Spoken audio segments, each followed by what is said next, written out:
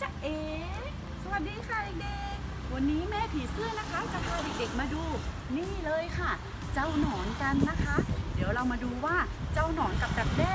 ที่แบบเป็นตัวจริงเป็นของจริงๆเนี่ยจะเป็นยังไงนะคะอ้าวแล้วค่ะ เดี๋ยวเรามาดูกันเลยค่ะ ถ้ามองดูเผินๆเนี่ยก็เหมือนต้นไม้ทั่วไปใช่ไหมคะเด็กๆ อ่า เดี๋ยวเราลองมาซูมดูใกล้ ๆ กันนะคะ นี่เลยค่ะ เห็นหรือยัง นี่เป็นแม่หนอนกับลูกหนอนนะคะกำลังอยู่ด้วยกันเลยค่ะ อยู่บนใบไม้นะคะกำลังกินใบไม้อยู่เลยค่ะลักษณะก็จะเป็นตัวแบบว่าสีเขียวๆปนน้ำตาลนะคะ แล้วก็มีขนนะคะ มีหนวดทั้งสองข้างด้วยนะคะเป็นจะงอยหนวดนะคะ อาหารก็ยังคือยังคงเป็นใบไม้อยู่นะคะ ตอนนี้นะคะ นี่คือตัวหนอนนะคะ ตัวหนอน นี่เดี๋ยวเราลองมาดูซิมันมีตัวไหนอีก นี่เลยค่ะ เห็นหรือยังใต้ใบนี้ก็มีนะคะ นี่ค่ะตัวคล้ายๆสีน้ำตาลเลยค่ะกำลังนอนหลับอยู่ ยังไม่เห็นกินใบสักสักอันเลยนะคะ อันนี้กำลังนอนหลับอยู่นะคะ อ่า อ่ามาหาดูอีกสิคะว่ามีอีกหรือเปล่าเด็กๆช่วยคุณหญิงดูหน่อย นี่ตัวนี้นี่เห็นไหมคะ ตัวนี้ก็กำลังอยู่กำลังนอนหลับอยู่เหมือนกันยังไม่มี ตัวไหนกินใบไม้ให้งูดูเลยนะคะ แต่ว่าเห็นไหมคะ ใบไม้ที่แหว่งๆตรงนี้แหละค่ะ ก็เป็นฝีมือของเจ้าหนอนนี่เองอะพอเป็นเจ้าหนอนแล้วนะคะ วันหนึ่งมันก็จะกลายเป็นดักแด้ค่ะ เดี๋ยวคุณหญิงพาให้ดูดักแด้นะคะ นี่อยู่ใต้นี่เลยค่ะ อยู่ใต้ใต้ตรงนี้เห็นไหมคะตัว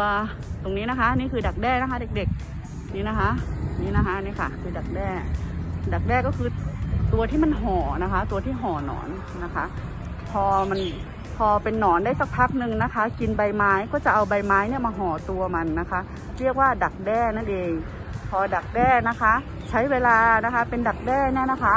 ก็จะในถุงดักแด้ก็จะมีอาหารนะคะ ไว้หล่อเลี้ยงตัวมันนะคะ มันก็จะไม่กินใบไม้อีกละนะคะ มันก็จะพักตัวฟักตัว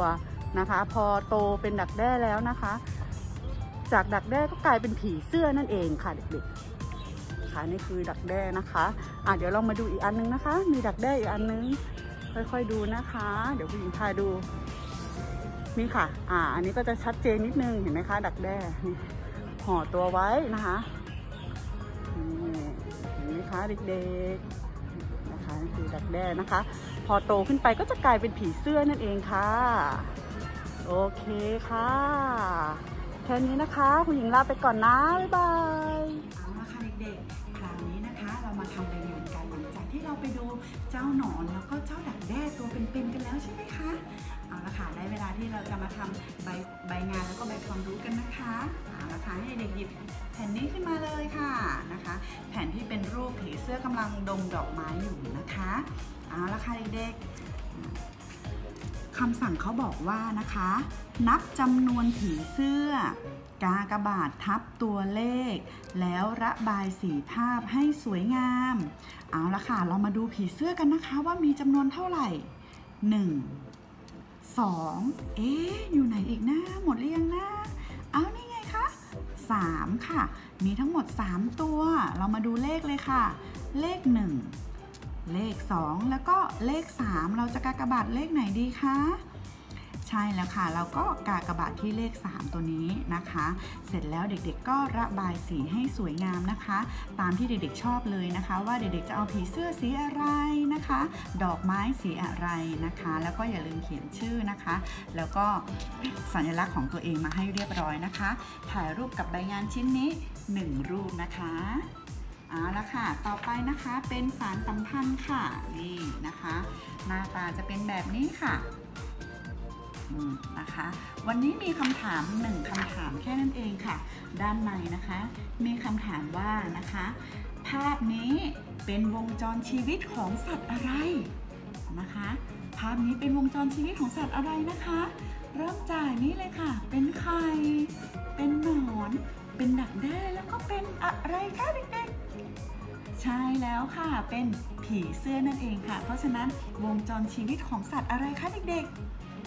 ผีผีเสื้อนะคะ เด็กๆก็ให้ผู้ปกครองเขียนให้นะคะอ่าแล้วค่ะแล้วก็หน้านี้นะคะ ให้เด็กๆนี่นะคะ นับจำนวนดอกไม้ กากบาททับตัวเลขแล้วระบายสีให้สวยงามนะคะ เมื่อกี้นะคะ แผ่นเมื่อกี้นับผีเสื้อไปแล้ว แผ่นนี้นะคะ นับดอกไม้ค่ะอะมานับดอกไม้ด้วยกันค่ะ 1 2 3 ก็กากบาทที่เลข 3 ค่ะ เลข 1 เลข 2 เลข 3 นี่เลยค่ะกากบาทที่เลขนี้นะคะ เสร็จแล้วก็ระบายสีทั้งสองหน้าให้สวยงามนะคะ ถ่ายรูปคู่กับผลงานของตัวเองอีก 1 รูปนะคะ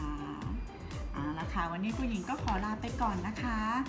ขอให้เด็กๆตั้งใจเรียนนะคะ ตั้งใจดูคลิป อย่าเพิ่งเบื่อคุณครูนะคะ เพราะฉะนั้นนะคะตั้งใจเรียนในในห้องเรียนออนไลน์ของทิเชอร์ด้วยนะคะ แล้วก็ห้องเรียนที่เป็นคลิปวิดีโอของคุณหญิงด้วยนะคะ แล้วเจอกันค่ะเด็กๆ สวัสดีค่ะ